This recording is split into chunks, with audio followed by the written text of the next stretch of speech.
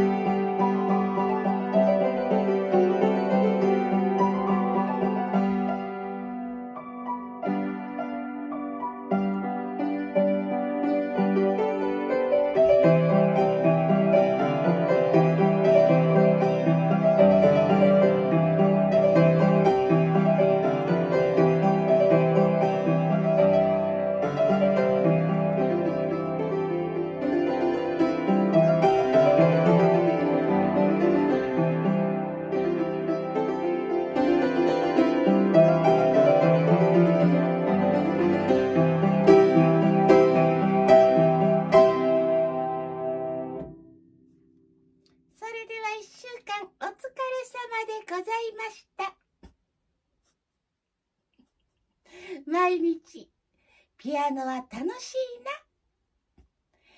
弾けなかった曲が弾ける。これはとっても自信になります。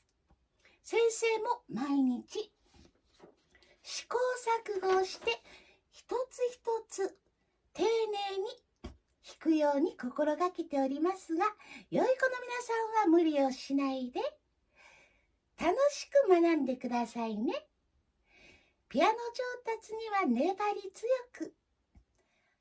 一音一音音の強弱ダイナミクスをつけて一つ音を外せばちゃんと弾き直す。先生も反復練習も部分練習も少しずつやっております。必ず自分なんかダメよ。いけないわ。あなたダメよと思ってはいけません。自信を持つためにはどうすればいいのでしょうか？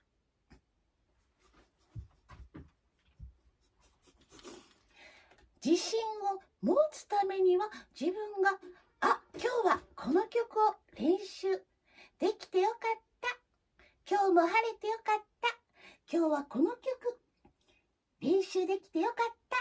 これは大きな自信になると思います。何もしなかった日というのは本当になんだか寂しく感じられますが、決して自分なんか何もいいところがないの。自信は必ず人に褒められることでついてきます。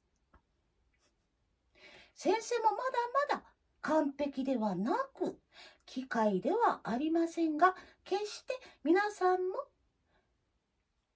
人に優しく、自分も大切にしましょうね。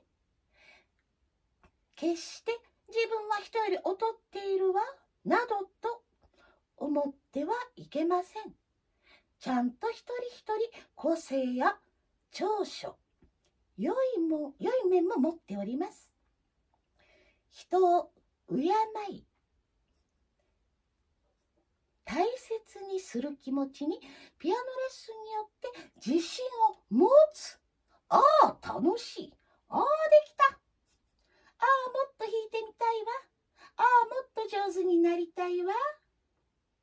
という向上心に謙虚な気持ちを持ち続けることがピアノ上達にもつながってきますが、先生も食べ過ぎちゃって困るわ、困るわ、困るわ、引き過ぎちゃって困るわ、困るわ、困るわ。100%毎日元気でもありません。ただ、自分も人も大切にしましょうね。それでは、また明日もご期待くださいな。だるまさんが転んだ。棒は棒でもうまい棒。なんか、美味しいもんないかな。なんだか、あの車マナー悪いな。棒は棒でも、人の悪いこと、なんか悪いことしてやろうかな、と思うのが泥棒。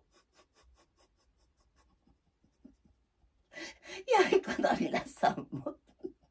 できたやった私ってこんなにすごいんだ。